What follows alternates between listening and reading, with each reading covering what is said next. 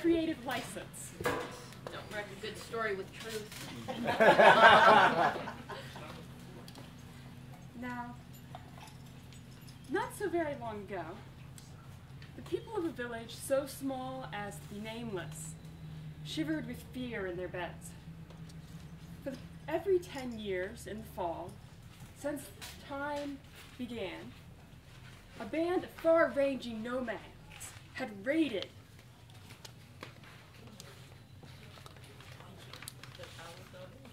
and a winter without food is very hard to bear. Now, a river ran a few miles off, and at full flood in the spring, no one could cross without boats. But in the fall, the river fell, and a determined rider had little trouble. The village itself had but a dry creek and a little pond, although a lord had built himself a manor not five years past. So the villagers, placing their faith in their lord and the great house that he had built, begged his indulgence and protection, and being gracious, he welcomed all. But a visiting lady there, not placing all her faith in wooden walls or men at arms against hardened marauders, went to the priest. The priest was a young man, the something son of a noble with far too many children, and quite new to his position.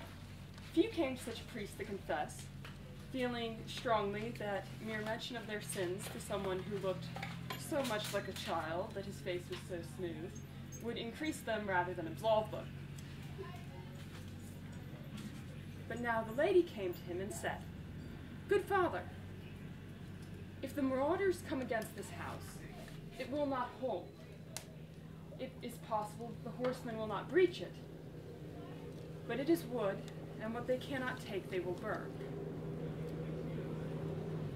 The priest answered, Lady, I do have a plan which the lord of this manor dismissed, but perhaps with your aid and a few adjustments, it may still be accomplished.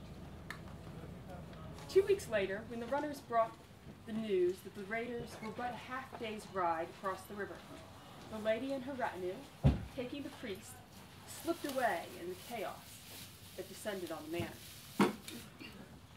When the riders approached the river, they spied a figure thrashing in the water. Observing a lady's gown, they cast in a rope and drew her out. Clutching her veil close about her face, voice low with fatigue, she thanked them. The water was unusually strong this summer, and the ford has been cut away. Where then do we cross? The leader demanded. Farther down, replied she.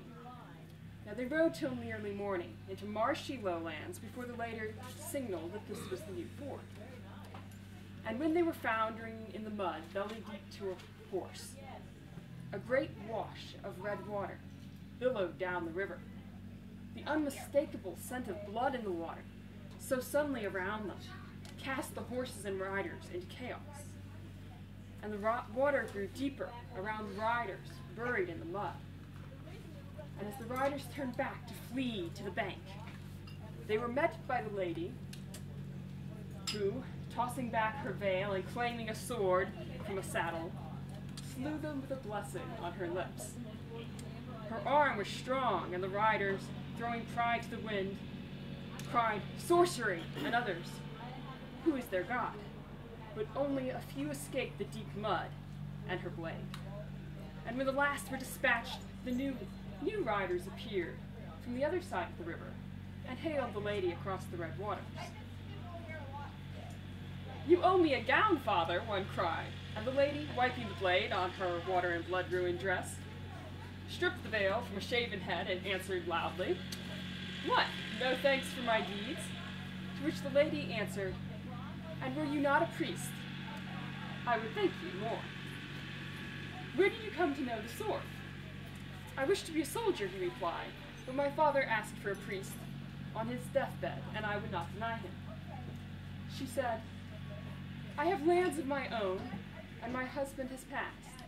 Would you come to my home and be priest there? You will gain respect for your deeds.